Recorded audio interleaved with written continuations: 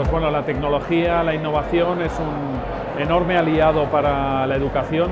Yo creo que la educación a nivel mundial es uno de los grandes retos que afronta la Mobile World Capital y estoy convencido que la tecnología puede ser un gran aliado.